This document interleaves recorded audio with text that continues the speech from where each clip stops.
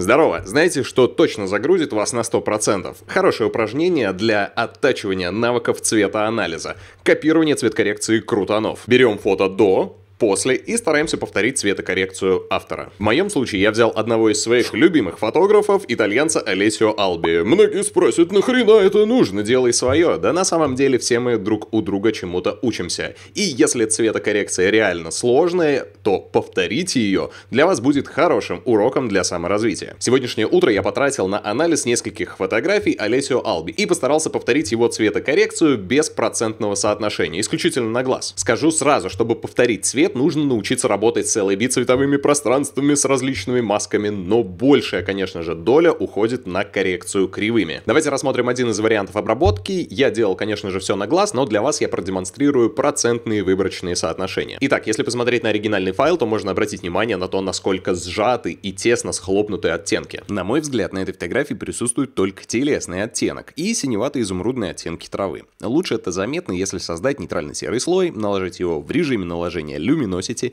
и повысить насыщенность процентов до 50. Сейчас более наглядно видны цвета на фотографии. Если мы возьмем самые яркие по насыщенности участки, ведь именно на них обращает внимание наше восприятие, и пипеткой замерим цвета, то мы увидим, что вариативность оттенков невероятно мала. Оттеночный охват по хью приблизительно от 340 градусов до 37 градусов в цвете лица, волос и бутонов цветков, и цвет травы где-то от 160 градусов до 220 по хью.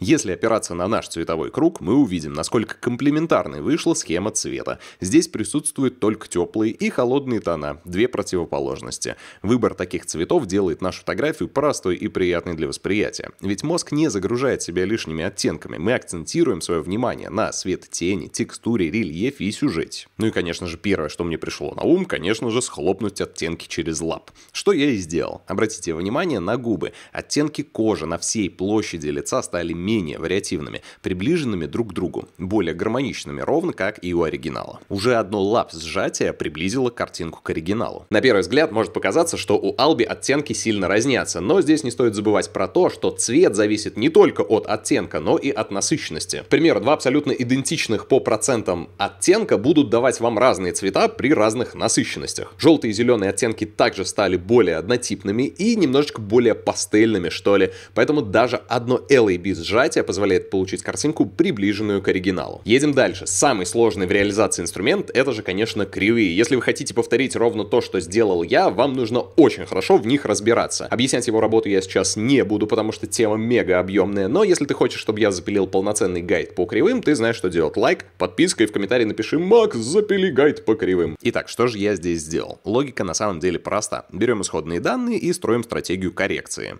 Что мы видим? Первое. У меня менее контрастная картинка. Решение – S-образная кривая. Окей, мы будем повышать контраст за счет кривой.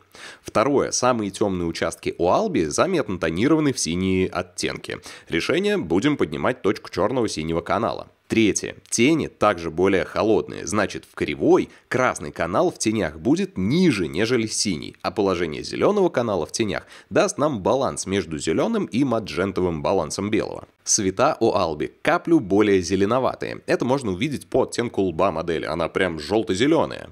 Соответственно, в кривых высокие светлоты зеленого канала нам нужно немножечко приподнять. Я же просто подвину саму точку белого зеленого канала вверх. И вот мы получили приемлемый контраст и цвет на всей площади фотографии. Теперь можно заняться локальной цветкоррекцией. Опять же будем опираться на исходные данные.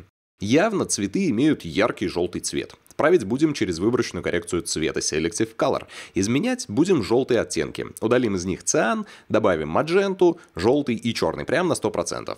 Уже близко. Получить больше эффект от этого инструмента у меня не выйдет, поэтому я создам его копию, и здесь буду более аккуратно манипулировать маджентой, так как она будет формировать конечный оттенок цвета между желтым и красным. Тут нужно найти баланс. А чтобы воздействие наших корректирующих слоев не накладывалось на цвет волос и лица, я закину их в группу и накину маску. По-моему, постепенно, но верно, мы приближаемся к хорошему результату. Едем дальше. Видим, что цвет волос не дотягивает по насыщенности до оригинала. Что ж, тут все просто. Также создаем маску и увеличиваем насыщенность только волос. Я это сделал через Hue Saturation и один слой выборочной коррекции цвета. Также мне показалось, что цвет лица немного розоват, и я решил добавить в желтый еще больше желтого. Убрал из него мадженту. Вуаля! Осталось только прорисовать глаза на нейтрально-сером слое и добавить небольшие микроконтрасты на волосы.